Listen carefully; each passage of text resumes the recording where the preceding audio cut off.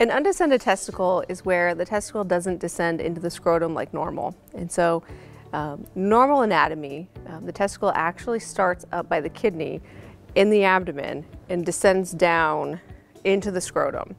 And so, anywhere along that track, it can stop. So, it can stop in the abdomen or it can stop in the groin. And so, typical presentation is just that either the pediatrician or the parents don't feel a testicle in either one or both of the scrotum.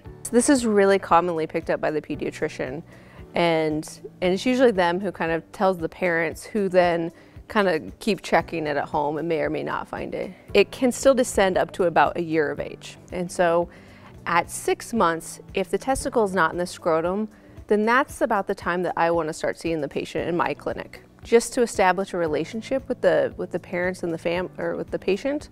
We usually like to do the surgery before a year of age um, or around there because it can affect fertility and we know that there's also an increased risk of growing masses on the testicle. So it's important to get those down in the scrotum. So there are multiple ways to repair these things and typically it depends on where the testicle is. And so if on exam um, I can feel the testicle in the groin, then what I'll do is I'll make an incision on the groin and then I'll actually bring down the testicle and tack it into the scrotum. And the big name for that is called an orchiopexy. Um, we have big names for everything. And basically that just means bringing the testicle down, tacking it into the scrotum.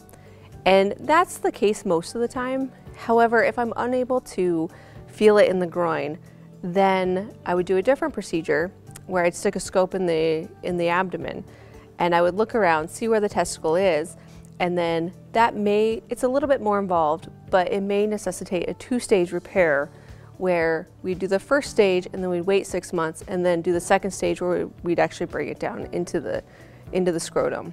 Kids usually bounce back very quickly. They might be a little bit tired the day of surgery, they might be a little bit sore for a couple days, and then they're running around, they're playing. They, they want to get up, they want to do things. And typically I don't put any restrictions on them.